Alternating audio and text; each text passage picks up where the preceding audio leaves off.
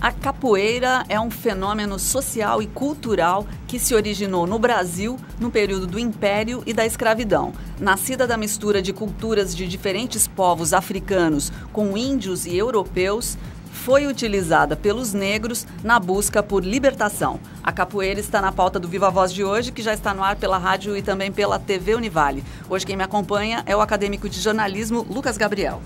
Boa tarde, Lisa. Boa tarde para você em casa, no trabalho, você acompanhando Viva Voz pela rádio e pela TV Univale. Lembrando que você pode entrar em contato conosco, é muito fácil. Tem o nosso e-mail, vivavozunivale.hotmail.com e também a nossa página no Facebook, facebook.com.br Viva Voz Univale. Bom, para falar sobre capoeira, nós convidamos o professor de capoeira Carlos Eduardo Reinert, do grupo de capoeira Beribazu, aqui de Itajaí. Obrigada pela presença, Carlos. Eu que agradeço. Boa tarde. Bom, a gente queria começar uh, com a definição de capoeira. Como é que você define capoeira? Capoeira, ela é uma definição muito particular, né? Mas, para mim, capoeira, ela, ela surgiu assim como um, uma alternativa para atividade física, para atividade cultural, uh, para atividade de música, né? É capoeira é uma, uma arte marcial é, é, que está muito ligada à, à, cultura afro, né? Que tem na sua essência já ritmo, música, né? Capoeira é uma, é uma arte marcial musicada, é uma arte marcial é, gingada, né? É, é isso. Professor, já aproveitando, explica pra gente qual que é a filosofia da, da arte da capoeira. A, diferente de artes marciais é, orientais, né, a capoeira ela não tem uma, uma filosofia é, instituída, né, uhum. mas o que, que, a, o que, que a gente prega, né? A capoeira é um jogo cooperativo, então a gente prega a socialização, prega, prega a, inte, a integração dos participantes, né, dentro e fora da roda. A capoeira é um fenômeno social de integração muito forte. É, isso, é, acho que é hoje, atualmente, a, a, o que a capoeira traz muito no, no, dia a dia dela é isso. É a integração, é a socialização de jovens, né? É, trazer para trabalhar algumas, alguns... Valores sociais, né? Valores sociais, algumas, person algumas características de personalidades, né? Que a gente consegue determinar, detectar em alguns alunos.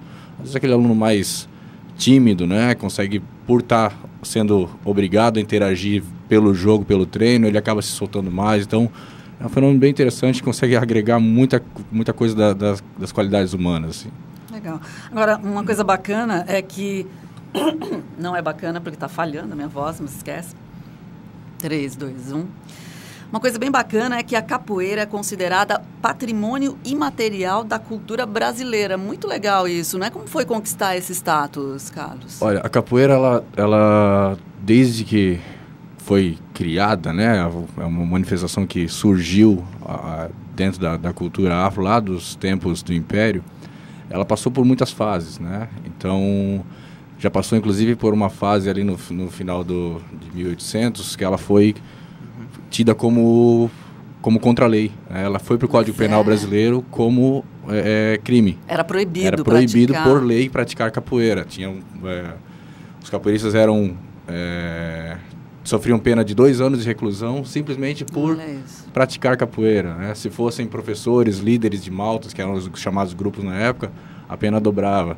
Então a capoeira passou por muitos processos. É, e dos anos 80, quando começou a se buscar um pouco mais da valorização do resgate das, das tradições e culturas afros, né? É, Começou-se um trabalho de, de, revalorização da capoeira. É, e foi em 2008 ou 2007, eu não lembro bem a data agora, que ela foi registrada pelo IFAM como patrimônio imaterial da cultura brasileira. Né?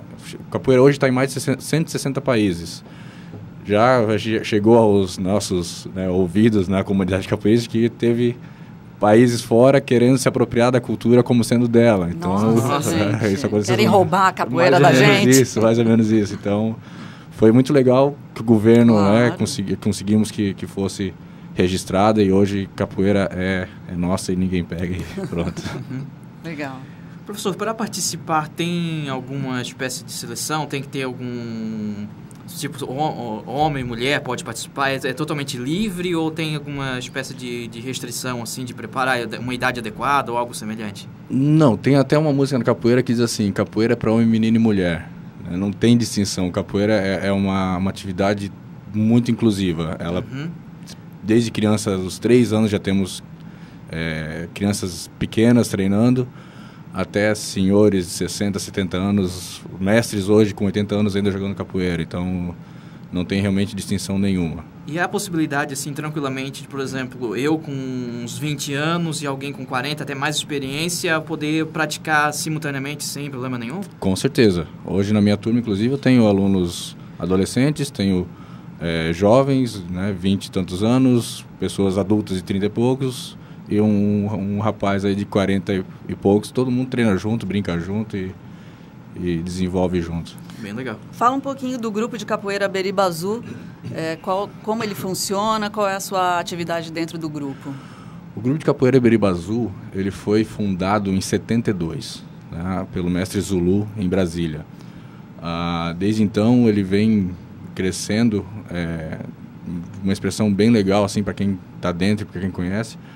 Uh, o Grupo Beribazu, desde 72, em 82 o mestre Zulu eh, se desligou do grupo e deixou a, a, a gerência, digamos assim, do grupo eh, nas mãos dos mestres formados por ele. Então hoje o Grupo Beribazu ele é dirigido por uma por um conselho de mestres, uma, uma é, é colegiada, né, a, democraticamente a, uhum. o que uhum. precisa ser feito dentro do grupo é discutido pelos mestres e assim passado por os alunos.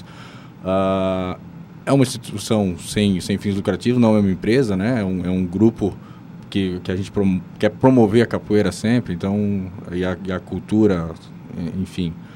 Uh, eu hoje sou, na verdade, sou estagiário do grupo, estou em processo de formação para docência, né? Pratico capoeira já há 16 anos, 16 para 17 anos, né? então, agora que estou chegando à fase de professor, mas... Uh, mais. Legal. Quantas pessoas fazem parte do grupo? O cadastro de docentes do grupo, que é o que é mais fácil de controlar, né? Os uhum. professores e estagiários, está em 160 professores, mais ou menos. Olha, que ah, foi, foi atualizado esse ano, inclusive, esse número. O Grupo Bazu está em mais de cinco países pelo mundo, vários professores espalhados. Temos já estrangeiros formados professores dentro do grupo, né? E, e, o legal é que assim, todo, essa, todo esse pessoal do, no Beribazu é, foram alunos Beribazu. A gente não, não trabalha com filiação, a gente não, não recebe professores de outros grupos para dar aula, justamente para tentar manter é, o, a linha de, de, pensamento do grupo. Né? Pois é, a, a filosofia não é, não é instituída, uhum. mas a gente é, são, são camaradas que, que gostam mais ou menos das mesmas coisas, trabalham da mesma forma a capoeira.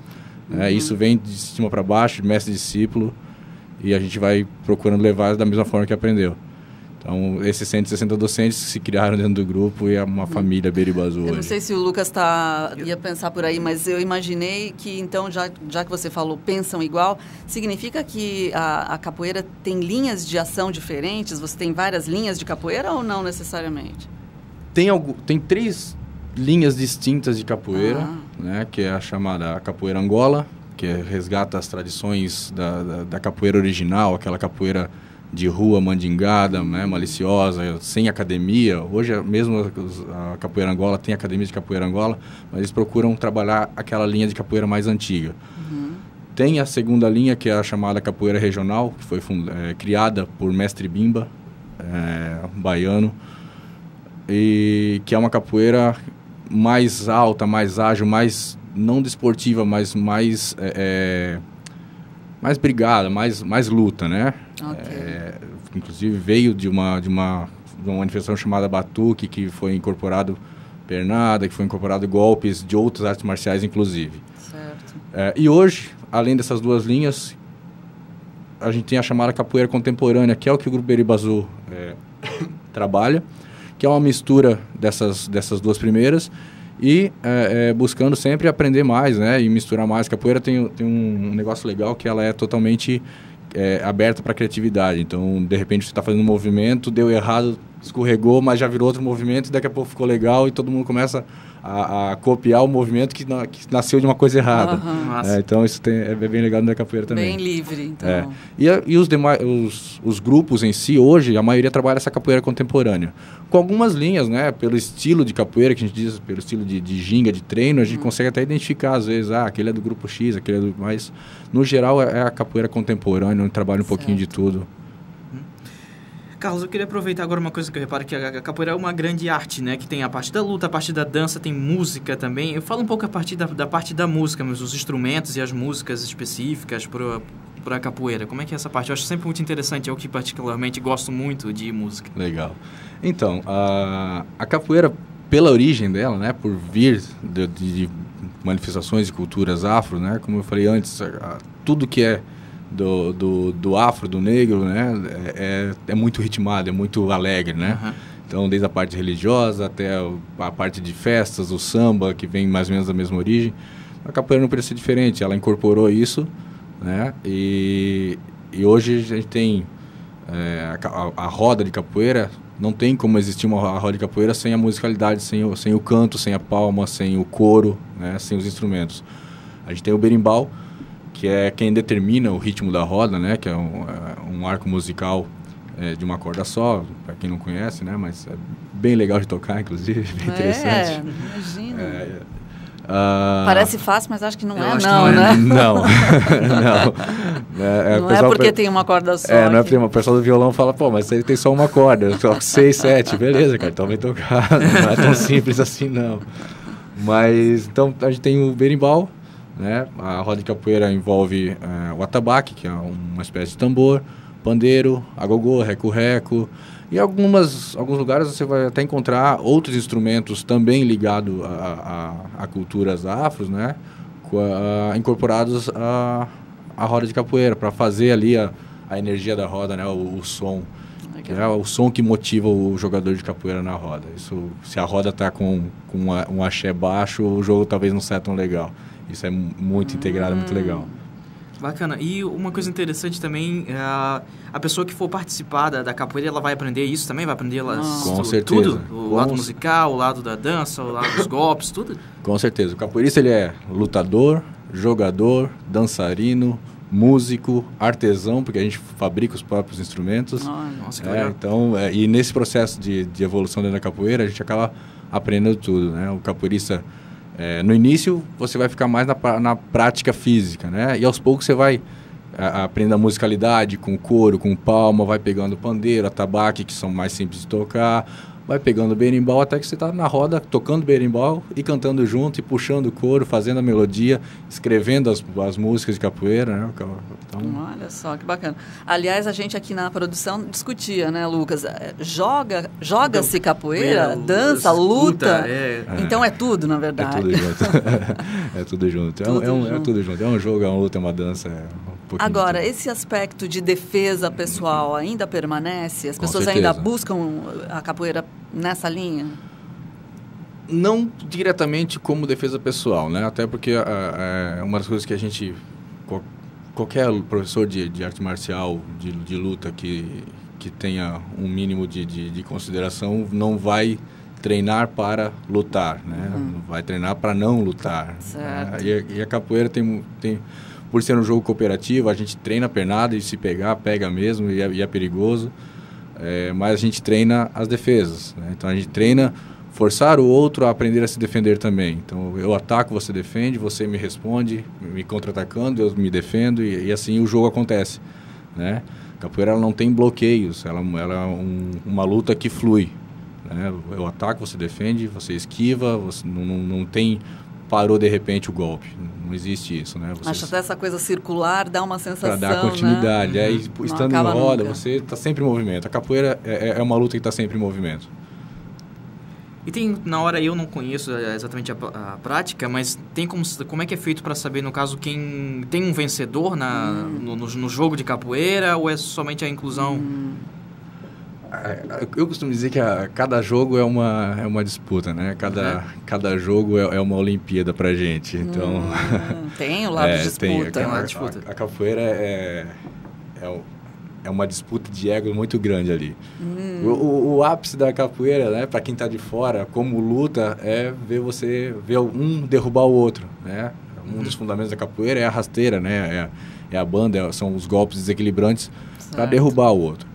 Uh, a gente defende isso também, tem, né, treina a defesa, mas uh, quando a gente está jogando, acho que eu, quando você diz assim, não que eu ganhei, mas que eu fui melhor um pouquinho, né? Quando uhum. acontece esse tipo de situação. Porque às vezes mesmo treinando golpes mais traumáticos, né? Um, um golpe de mão que vai acertar o rosto, ou um golpe, um chute de, de linha reto que vai acertar uma costela e tal, pode acontecer, pode acontecer. Mas como a gente treina para não é, é, para não ferir a integridade física do outro, se eu acabo acertando isso, bom, o outro não treinou direito a defesa e eu não treinei direito o meu ataque para poder dominar bem, porque eu podia ter, não ter acertado. Olha só, ah, muito bem. Isso é a não luta ao mesmo tempo. Exatamente. e aí você ganha. Exatamente. Muito bem. Intervalinho desvendando aqui os segredos da capoeira com o professor Carlos Eduardo Reinert. Depois a gente volta.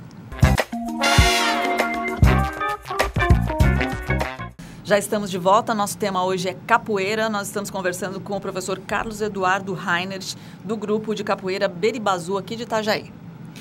Bem, Carlos, uma coisa que eu reparo é, em, em, outra, em outras artes é a classificação hierárquica né, de, de faixas. Conforme você vai aprendendo e praticando mais, você vai evoluindo. Como é que funciona esse sistema na, na capoeira? Até porque eu ouvi você falando né, que você é professor, aí tem mestre, aprendiz. Como é que funciona essa hierarquia? Ah, legal. Uh, na capoeira, a gente não tem uma, uma padronização universal, digamos assim, né, que todos os grupos sigam é, dessa, do sistema de graduação. Porém, cada grupo tem o seu sim. Né? E na capoeira a gente não trabalha faixa, a gente usa cordas, né? Uhum. É, até por uma questão de, de, de resgate da, de cultura, né? Trazer a, da, de como era a, a, do negro. Então, a gente não usa faixa, usa cordas. Uh, no grupo Beribazu, Uh, a gente tem um sistema de graduação que foi criado por mestre Zulu lá em 72, que é bem interessante, que, que tenta já pelo sistema de graduação é, ensinar o aluno que está começando já aprender todo o contexto da capoeira, o que, que ela aconteceu, o que aconteceu com a capoeira. Por quê? Porque o sistema de graduação Beribazu é, base, é baseado nas fases sociais do negro no Brasil. Então, desde quando uh, o negro primeiro contato do negro no Brasil foi a, a, a captura na África para a escravidão, onde ele veio pelo mar, né? Então, o, o, vou traçar um paralelo aqui, mas não tem dire, de relação direta com religiosidade, tá? Vou deixar bem claro isso, é, que muita gente confunde hoje a capoeira é religião. Não é, tá? Não é. Tem a mesma origem, sim, mas não tem nada a ver hoje uma coisa com a outra. Então, uh, só como exemplo, né? Negro sendo transportado via mar, quem era na religião africana que protegia o negro no mar, Iemanjá. A cor de irradiação de Iemanjá, azul. Né? Então, a, a, a, primeira corda do grupo azul é azul, iniciante. Primeira fase okay. do negro. Uhum. E assim vem, azul, marrom, o negro trabalhando na, na terra, uh, verde, o negro fugido, quilombola, Uh, amarelo, o negro se socializando, tendo que ganhar o seu sustento. Né? Roxo, o negro revolto, querendo a, o seu status social. O vermelho, né, é, que seria mestre já. E por último, a, faixa, a, corda branca, que é uh, o último nível né, de, de mestre, que é um, um, mestre dignificador, que a gente chama. Que é um status de, de. Como é que eu posso dizer? De reconhecimento né, por todo o trabalho que o mestre já fez pelo grupo e pela capoeira.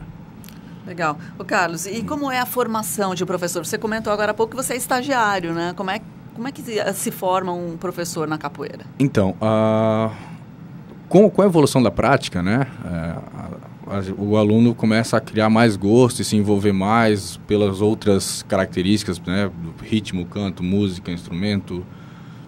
E chega num determinado momento que ele está num, num, nível de prática que já permite ele a, a repassar isso, né? É, e vai de cada, de cada um querer ensinar, né? Uhum. Então, a partir do momento que você, que, é, que o aluno se determina, não, quero repassar também, quero dar aula também, então ele começa a passar por um processo de avaliação subjetiva do próprio mestre. Né? Então o mestre vai começar a direcionar o, o, a prática, as aulas, para que ele ensine, a, a, aprenda a dar aula também, não só uhum. aprenda a, a, capoeira em si. Okay. Né? E nesse processo a gente começa daí a, entrar nas, nas graduações de docentes, né? de professores. Mas é, um, é uma avaliação subjetiva a princípio, né? não tem uma, uhum. uma regra assim, ah, você um tem que saber isso, isso, certo. isso, o tempo certo, não necessariamente, né? uhum. né? Porque vai de cada um a evolução. Legal. Né? Carlos, você contou um pouquinho no começo do programa, né, quando você se interessou por capoeira, mas explica melhor pra gente, assim, quando você teve contato, quando você descobriu e o que te interessou. Isso foi muito interessante, porque é, é com 15 anos eu queria praticar uma arte marcial e praticar algum, alguma dança, fazer alguma coisa. Fui ver Kung Fu e fui ver aula de dança de rua na época. Ah, e aí tinha um, um, primo meu que, ah, minha prima tá fazendo capoeira, vamos lá ver como é que é. E aí, ah, vamos lá, beleza. Na segunda-feira foi eu e mais dois primos para ver uma aula. E ali eu encontrei o que eu estava procurando separado, encontrei tudo num lugar só, né? Além de dança, música, uhum. luta, atividade física. Encontrei uma galera que me acolheu muito legal, que isso é, isso é muito, muito bom no grupo de capoeira, que todo mundo é amigo né? Não é, a gente não tem competições diretas assim, né? Grupo contra grupo, né? uhum. né? formais. Então a gente acaba tendo uma camaradagem muito grande entre os integrantes. O que, mais te atraiu então? Tudo. Ah, tudo isso. é, é, bom, uhum. achei, achei a minha prática esportiva que, tava, que eu queria, achei minha luta, achei dança, uhum. né? É, e achei a parte social da capoeira que é, que é muito gostosa também. Legal. Uma coisa que chamou a atenção no outro bloco, quando você comentou da energia da roda, né? E aí você falou, quando o axé não está bom, enfim, vocês utilizam então esses termos, termos afro e muito, aprendem muito. isso? Como é que é essa parte do aprendizado da, da na é, capoeira? É, não, é uma coisa meio que automática, assim, né? Hum. Pô, a, quando a gente fala na energia da roda, a, a música rolando, o berimbau tocando, o coro respondendo, batendo palma, é, é, é uma coisa que só estando dentro da roda para saber, é difícil até descrever. Mas, mas você sente, assim, né? O, o, toda, é mesmo que você chegar num, num, num, show de... Um showzinho de barzinho lá, a música tá devagar, você uhum. vai chegar ali... Uhum. Pô, vambora. Uhum. Aí você chega num showzão de rock, música lá em cima, pô, você vai ficar, quer ficar, quer ficar, e acaba, quer mais. É mais ou menos isso que acontece na, na roda de capoeira. A gente chega ali, a roda tá uma energia boa, o axé da roda tá lá em cima. Você quer jogar, quer jogar, quer jogar, quer brincar e, e quer estar tá na roda. Hum. E como é que tá a procura aqui pelo grupo mesmo aqui de, de vocês? O pessoal tá, tá vindo, tá curtindo? Como é que tá a procura pela capoeira? Não só aqui também no, no Brasil em si. O pessoal tá querendo aproveitar a cultura nacional? Olha, a, a falar um pouquinho de fora e depois trazer para dentro, né? Uhum. A capoeira hoje ela é um, um, um, dos maiores veículos de divulgação da cultura brasileira fora do Brasil. A capoeira tem mais de 160 países. Você tem lugares fora do Brasil que tem mais gringos, digamos assim, né? Mais estrangeiros treinando do que em algumas academias aqui no Brasil. Isso é muito fácil de encontrar. A valorização da capoeira lá fora é muito grande. Eu tive num evento no Rio de Janeiro agora em, em julho que tinha participantes de mais de 15 países aqui no Brasil, Olha, que vem que buscar legal. aqui na fonte, né, uhum. onde nasceu, a, a evolução da, da, própria prática. Isso é muito legal. E a língua portuguesa lá fora é falado muito. Hoje, é, é, um dos maiores difusores é a capoeira. Lá fora, estando lá fora, o professor não dá aula em inglês, em espanhol. Que legal. Dá aula em português. O aluno tem que aprender o português para acompanhar a aula. Muito bom. Né? E no Brasil, assim, desculpa.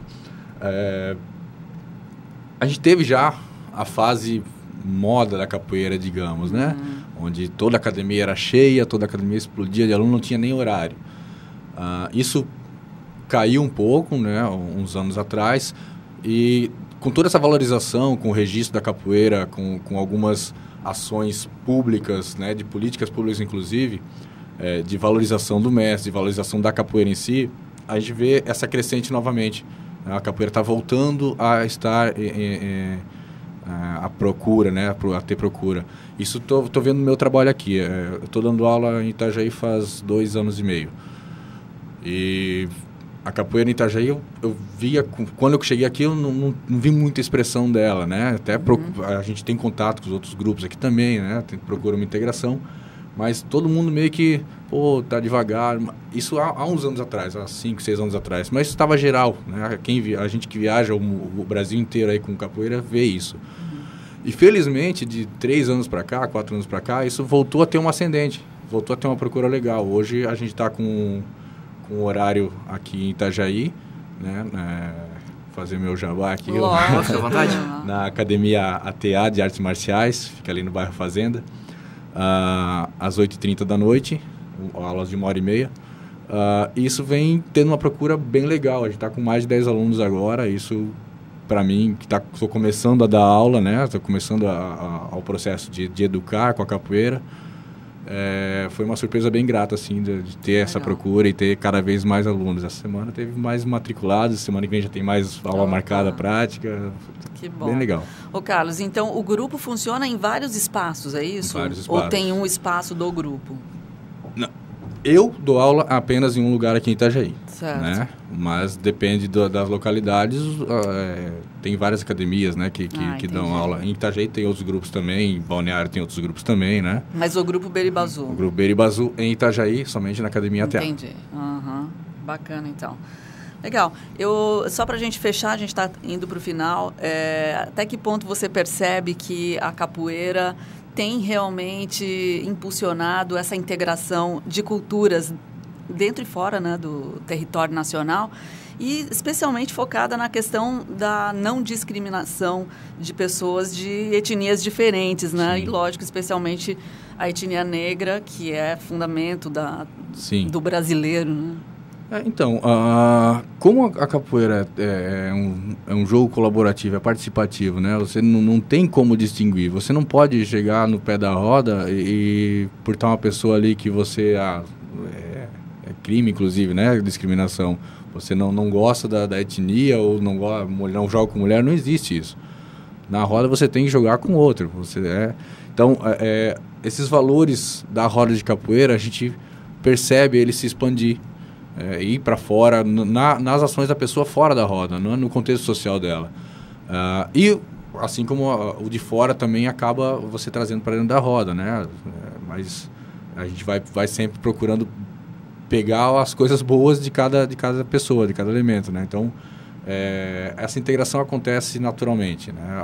Naturalmente você, se tem algum preconceito herdado de pai, avô, tataravô, sei lá da onde, da sociedade, na roda de capoeira, aos poucos você vai é, é desmistificando isso. E a cultura negra, lógico, está presente. É, é fundamento. Está lá. Não tem como não ser. Legal. Bacana, acho que é isso. Então a gente quer agradecer o Carlos Eduardo Rainer, professor do grupo de capoeira Beribazu aqui de Itajaí. As aulas são na academia? Academia ATA, segundas e quartas, na, às 8h30 da noite até às 10 horas. Na Fica fazenda, na, né? na fazenda, na rua 6, 6 de junho. Quer passar mais algum contato, telefone, site, algo assim? Uh, procurar no Facebook lá, vai encontrar fácil, é, Beribazu Itajaí. No Google Capoeira Itajaí vai aparecer a minha página lá também. Uhum. É, telefone para contato, 8872-5308. É, WhatsApp, é, todos diante, os contatos. Todos os contatos. Obrigada, Carlos. Valeu. É isso, né, Lucas? Isso aí. Muito obrigado pela sua companhia. O Viva Voz, o Viva Voz vai ficando por aqui. Até o próximo programa. Viva Voz. Realização: Curso de Jornalismo do Centro de Ciências Sociais Aplicadas, Comunicação, Turismo e Lazer e Pró-Reitoria de Pesquisa, Pós-Graduação, Extensão e Cultura, Propec da Univale. Produção e técnica: André Schlendwein.